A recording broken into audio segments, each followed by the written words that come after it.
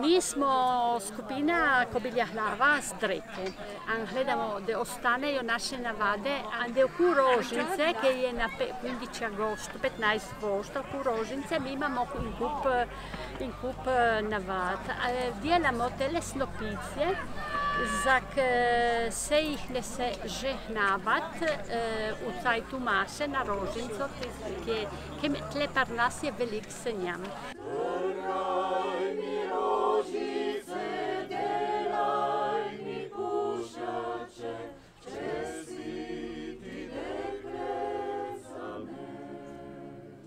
Na teleči se je nocalo, smo vsi vervali na nje. Izverjem šele, smo jih nisi požehnavati. A ko se je napravljala tu, daš velik tuča, so bile suhe, logično se jih ni smelo vrijati, samo ti v nohin.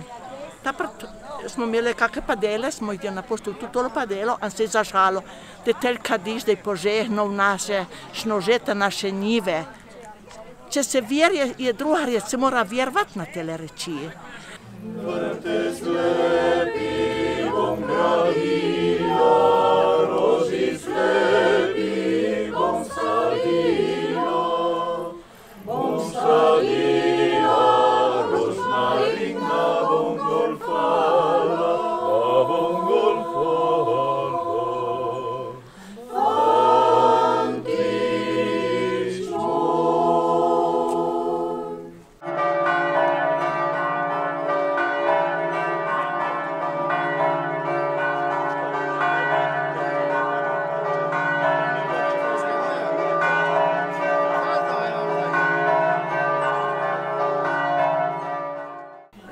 vas Matajur in tle vsako leto vilijo, na vi- dan vilje Marije v nebo vzeta, nas župnik, nas gospod Božo Zvonela, ima žegan rož, požegne rože, ki vsaka žena priprave.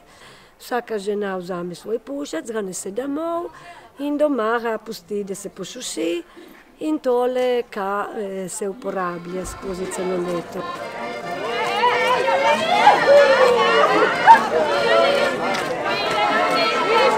Thank you.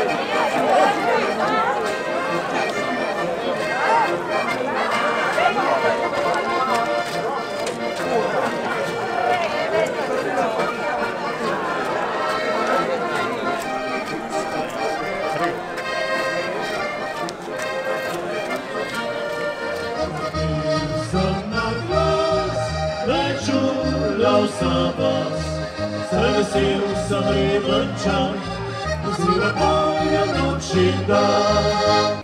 Da me mama videla, da imam tako majhen pušjat za rožnico, navijan, bi jo bilo špot. Naša mama je ravnala tako le velike snope, za ke potle, za čez leto, kar je bila slava ura ali pa kar so morali eh, požehenti hišo, jih je nucala, ne. Gospod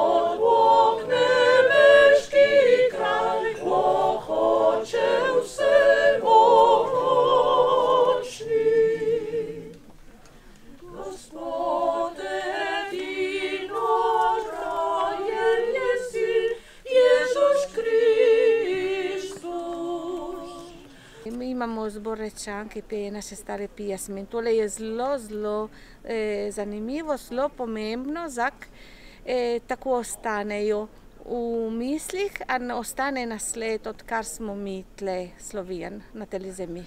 Daj nam sonce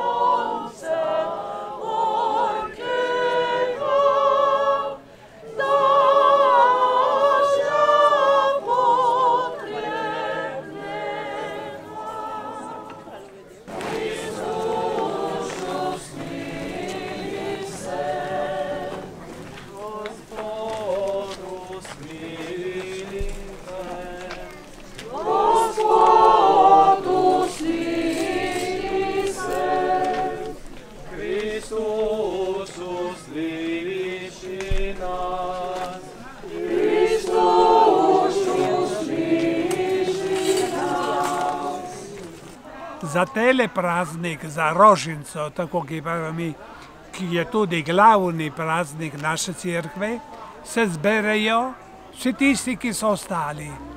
veselo, da pojemo, da, da skupaj se pogovorimo, da se bo udržalo živo, kar smo dobili od naših prednikov, in potem, da se ne izgubi naša kultura, naš jezik, ki je tako trdo povezan z našo vero.